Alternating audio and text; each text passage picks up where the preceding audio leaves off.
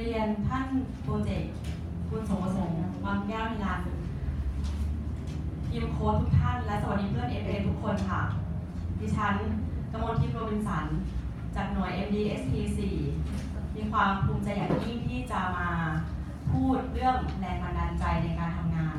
วันนี้มีนิทานเล่าให้ฟังด้วย ที่วัดแห่งหนึ่ง มีชายพิการ คือมีแขนข้างเดียว เขาเดินเข้ามาขอทานในขอทานอาหารในวัด ซึ่งเขาไปเจอกับเจ้าอาวาสชื่อหลวงตาเซน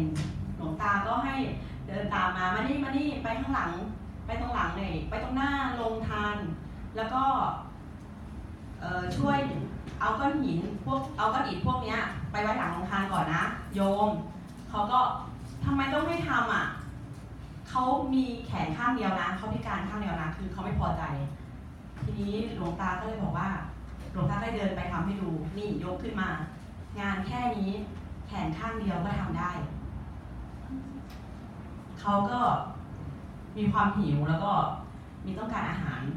ก็เลยทำทำไปให้มันเสร็จเสร็จเขาก็ไปหยิบก้อนหินแล้วก็ก้อนอิฐทีละก้อนเอาไปไว้ข้างหลังจากข้างหน้าโรงทานไปไว้ข้างหลังโรงทาน ทำทีละก้อนทีละก้อนก็ใช้เวลาสักพักหนึ่งแต่ก็สำเร็จ พอเสร็จหลวงตาเซนก็เดินเอาเงินมาให้จำนวนหนึ่งเขาก็ไม่คิดว่าเขาจะทำงานแล้วเขาจะได้ตังค์เขาดีใจมากเลยเขาบอกขอบคุณครับขอบคุณครับหลวงตาก็บอกว่าไม่ต้องไม่ต้องขอบคุณอาตมาหรอก เพราะเนี่ยมันเป็นเงินจากน้ำพักน้ำแรงของโยมเองเลยนะ ขอทานคนนี้ก็แบบดีใจมากที่แบบทำงานแล้วได้ได้ได้เงินครั้งแรก ก็เลยกล่าวคำผมจะจำวันนี้ไว้ แล้วก็กล่าวลาหลวงตาแล้วก็กลับไปหลายวันต่อมา มีขอทานอีกคนนึงมาขออาหารจากหลวงตาอีก หลวงตาก็เลยพาไปตรงกองอิฐกองนั้นนะคะแล้วก็บอกว่า นี่ช่วยย้ายจากข้างหลังโรงทานเนี้ย ไปไว้หน้าโรงทานหน่อยได้ไหม ขอทานก็เลย แต่ว่าขอทานคนนี้เขามีแขนขาครบ มบูรณ์เขาก็เลยบอกว่าทำไมต้องทำไม่ไม่กินก็ได้ แล้วเขาก็เดินหนีไป ก็ผ่านมาสักผ่านเวลามานานหลายปี ปรากฏว่ามีคนคนหนึ่งเดินทางมาที่วัด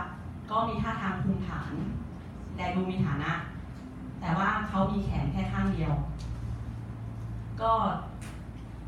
แท้แล้วเขาอะเป็นขอทานแขนเดียวที่มาหาหลวงตาจากวันนั้น เขาก็มาเล่าให้ฟังว่า เนี่ยจากที่มาเจอหลวงตาวันนั้นอะเขาอะมีความ ได้มองเห็นว่าตัวเองอะมีค่า ก็เลยไปหา ไปหาประกอบอาชีพที่มันเข้ากันกับสภาพร่างกายของตัวเอง ก็จนประสบความสำเร็จ จนสร้างฐานะได้ได้ร่ำรวยค่ะ ส่วนขอทานคนนั้นก็ยังเป็นขอทานต่อไปเพราะว่าคิดได้แค่นั้น แล้วก็คือคนเราอะ ถ้ามีความเชื่อมั่น เห็นคุณค่าของตัวเอง พึ่งพาตนเอง มันก็จะเป็นคุณสมบัติพื้นฐานเลย แรงบันดาลใจในการทำงาน คนเราถ้ามีความรักในงานนั้น แล้วคิดว่าทำได้ดี ได้เงินที่เป็นแรงจูงใจ แล้วก็ทำอะไรที่มันมีประโยชน์ การดึงศักยภาพของตนเองที่ ที่เราทำได้ดี แล้วมีประโยชน์กับคนอื่น เป็นอะไรที่โลก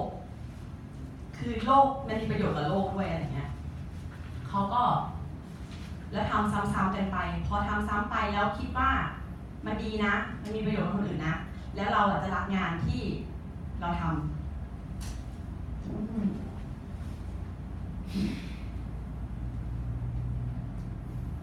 เราต้องปรับจิตเรื่องออการให้